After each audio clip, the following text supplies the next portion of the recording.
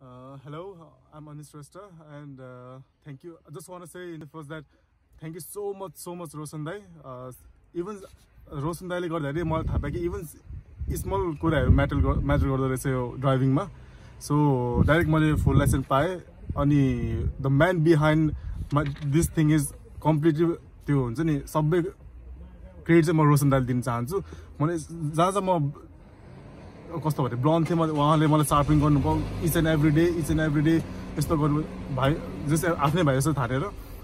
So म त्यसको लागि चाहिँ धेरै धेरै थ्याङ्क यू भन्न चाहन्छु। अनि लास्ट कुरा चाहिँ के भने first ride drive driving school चाहिँ म एकदम रिकमेन्ड गर्न चाहन्छु। एन्ड स्पेसली रोशन दाई।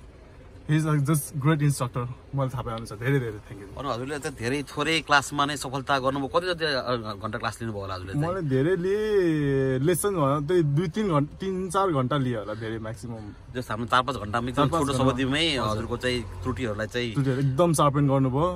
त्यही हो। अब धेरै धेरै थ्याङ्क यू मलाई केही वर्ड्स हुन्छ म एकदम नर्भस थिएँ।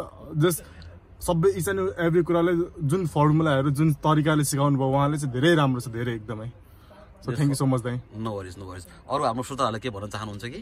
I just recommend first right driving school if you are like learner भए पनि ओभरसिज लाइसेन्स कन्भर्सन भए पनि जे भए पनि this one is the best एकदम बेस्ट नो वरिज एकचोटि फेरि फेरि हजुरलाई आजको आज कुन चाहिँ एटेम्प भयो हामीसँग चाहिँ?